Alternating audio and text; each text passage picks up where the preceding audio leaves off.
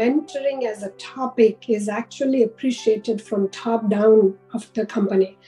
Um, every senior leader needs to pave the path of the benefit of mentoring uh, or femtoring, back to my word.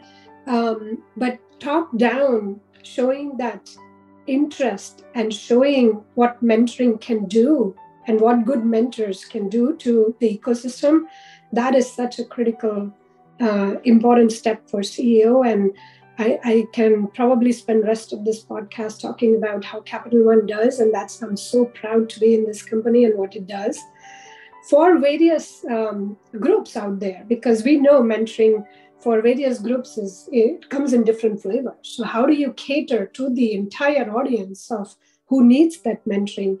And is it available when i need it right? So that is top down. So first is that second i would say is sharing stories and broadly calling out the successes of mentoring um, again if done broadly across the company, then both mentor and mentees, it's a win win situation for everybody because it's not a one way street.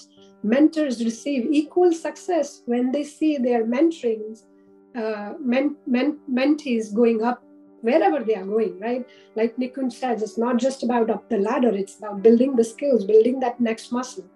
So, do we celebrate the successes along the way? That's the second part. And third part is, you know, we'll talk about wings and, and uh, GMI shortly, having curated programs that people can go to to tap that, hey, I'm in need of one particular topic, let's say executive presence. For years, I struggled with that in my career, right? Where do I go to and I have a topic called executive presence that I need mentoring on? So, having a curated set of topics available to the crew who's working for you is such an important aspect, whether it's Wings, GMI, or others that people have come across through their career journeys is such an important, and this is where technology can play such a huge role, and we'll talk about that. But to me, those are the three